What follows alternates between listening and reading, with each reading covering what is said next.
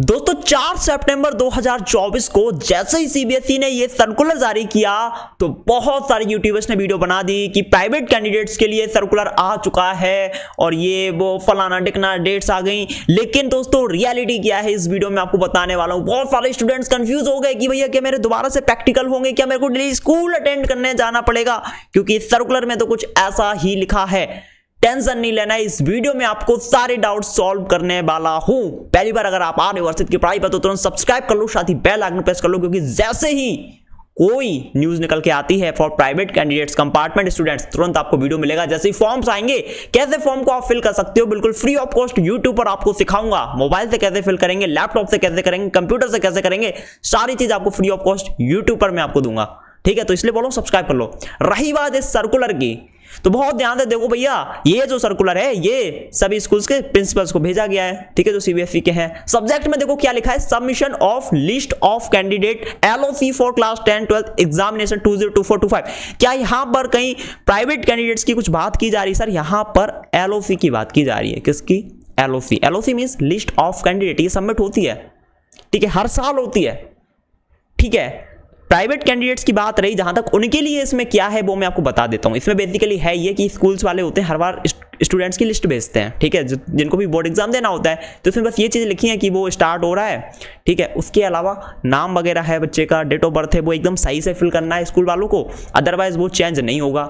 वो सारी चीज़ में लिखी है। रही बात प्राइवेट कैंडिडेट्स वालों की कंपार्टमेंट वगैरह वाले स्टूडेंट्स की, उनका क्या है?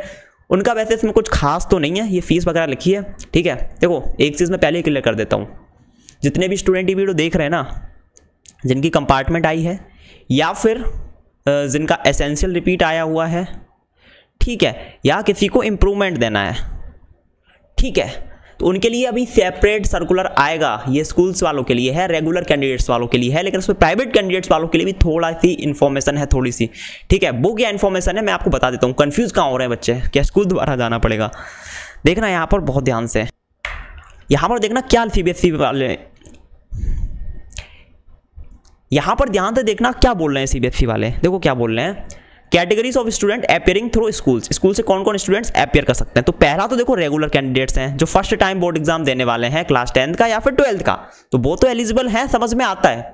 लेकिन जो ऑलरेडी कर चुके हैं, है ना, उनका क्या? देखो, दूसरा कैटेगरी लिखा है फेल या फिर एसेंशियल रिपीट ठीक है, अब देखना यहाँ पर क्या लिखा है। सीबीएसई ने क्लियर बोला मैं आपको शॉर्ट में बता रहा हूँ, ज़्यादा आपका समय बिल्कुल बर्बाद नहीं करूँगा। पहला पॉइंट यूट्यूब ये बताया है सीबीएसई ने, कि जो स्टूडेंट्स फेल हैं या जिनकी एसेंशियल रिपीट आई हुई है तो वो चाहे तो as a private candidate apply कर सकते हैं, या फिर चाहे तो एज अ रेगुलर कैंडिडेट भी अप्लाई कर सकते स्कूल से। ठीक है? दोनों ऑप्शन है सर आपके पास। अगर आपकी एसेंशियल रिपीट आई है, आप फेल हुए आपके पास, एक ऑप्शन है रेगुलर कैंडिडेट्स रेगुलर कैंडिडेट बनकर जाओगे अगर, सभी सब्जेक्ट के एग्ज़ाम आपको देने पड़ेंगे और आपको अटेंडेंस भी यूट्यूब वो स्कूल में मेंटेन करनी पड़ेगी और साथ ही साथ आपको प्रैक्टिकल भी दोबारा देने पड़ेंगे।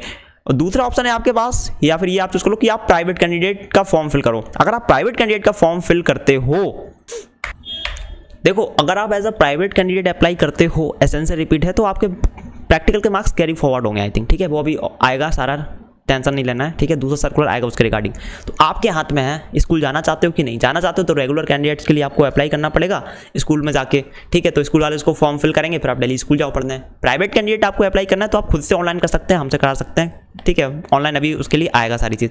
बस यही सारी इन्फॉर्मेशन उसके अलावा जो इंप्रूवमेंट वाले स्टूडेंट्स हैं, वो भी अप्लाई कर सकते हैं. और एक चीज़ बता दूँ, काफ़ी सारे स्टूडेंट ऐसे हैं जिनकी आई है कंपार्टमेंट ठीक है? एक सब्जेक्ट में, दो सब्जेक्ट में, ठीक है?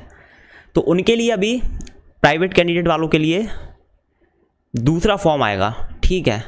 क्या आएगा? दूसरा फॉर्म उसका सर्कुलर भी सेपरेट आएगा।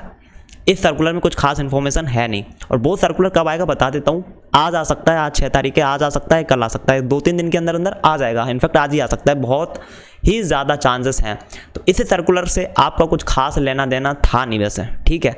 बट मेरे को लगा वीडियो बना देना चाहिए, ठीक है? देखो फॉर्म्स कब आएँगे मैं आपको क्लियर कर देना चाहता हूँ। आप मान के चलो कि पंद्रह सेप्टेम्बर तक आपके फॉर्म्स आ जाएँगे, ठीक है? और लगभग एक महीने तक वो चलेंगे फॉर्म्स ठीक है? एक महीने के अंदर अंदर आप फिल कर सकते हो, कोई दिक्कत आपको नहीं होगी, ठीक है? और ये जो सर्कुलर है जिसमें पूरा डिटेल्स होगा प्राइवेट कैंडिडेट्स के लिए कंपार्टमेंट वाले स्टूडेंट्स के लिए, वो एक दो दिन के अंदर आ जाएगा, ठीक है? दो तीन दिन भी लग सकते हैं बट मुझे लग रहा है आज ही आ जाएगा या फिर कल तक आ जाएगा, ठीक है? तो बिल्कुल टेंशन नहीं लेना, हर की पढ़ाई को आपको तुरंत सब्सक्राइब कर लेना है बेल आइकन को प्रेस कर लेना है कोई भी ऑफिशियल न्यूज़ निकल कर आएगी, तुरंत आपको वीडियो यहाँ पर मिलेगी। फॉर्म्स जैसे ही आएँगे, कैसे फिल करना है ए टू जेड सारी चीज़ आपको लाइव सिखाई जाएगी बिल्कुल फ्री ऑफ़ कॉस्ट ठीक है? इसलिए बोल रहा हूँ सब्सक्राइब कर लो बेल आइकन प्रेस मिलता हूँ अगली वीडियो में। टिल टेक किया बाय और कुछ डाउट कुछ पूछ रहा हूँ, आप नीचे कॉमेंट कर सकते हैं।